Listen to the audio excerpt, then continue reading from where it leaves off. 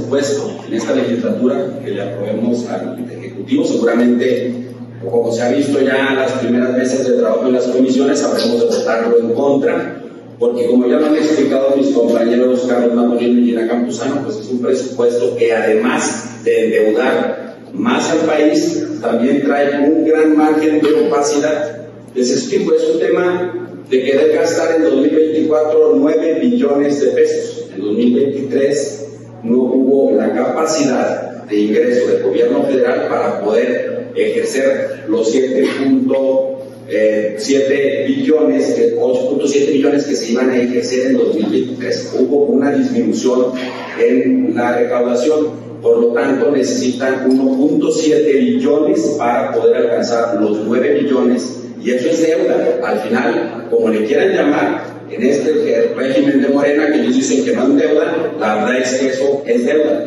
Otro caso y dato mucho, muy importante.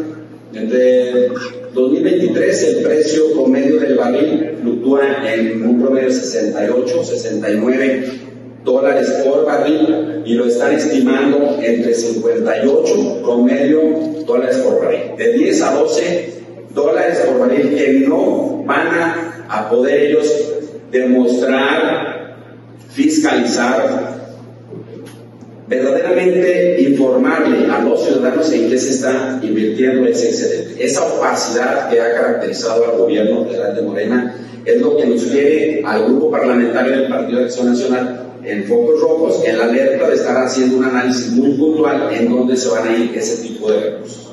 Pero hay algo importante que lo hemos estado platicando ya en el tema de seguridad.